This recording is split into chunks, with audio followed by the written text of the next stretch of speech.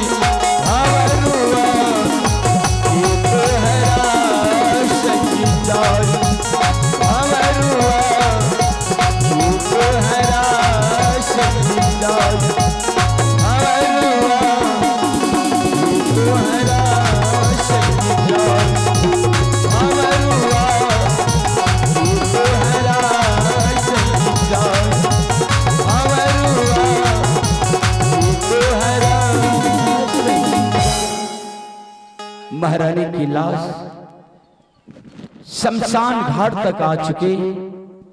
आज भगवान मुझे दो पुत्र दिए। बड़ा पुत्र शीत कुमार और छोटा पुत्र बसंत कुमार।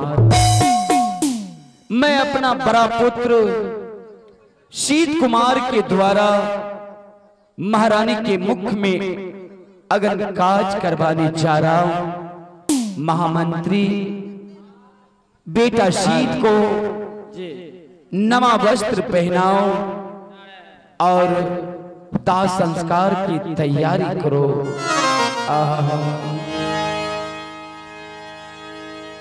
देखा जाए, अब मेरी महारानी की मुख में आग पड़ेगा आप लोग जानते हैं, जब इस शरीर से आत्मा निकल जाते हैं, जब इस शरीर में आग लगाते हैं तो उस समय उस समय लोग सोहर या समदन गाते हैं।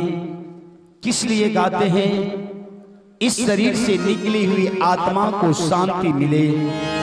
आज आज मैं अपनी महारानी की साथ आत्मा शांति ही दू। एक छोटा सा संदन गा रहा हूँ। आप लोग भी इस संदन से आनंद उठाएँगे। हाँ। पसर अल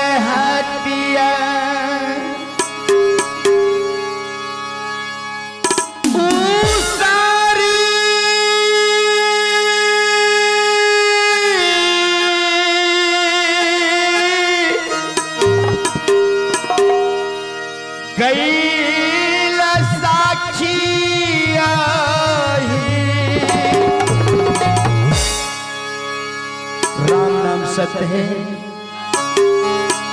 सबका यही गत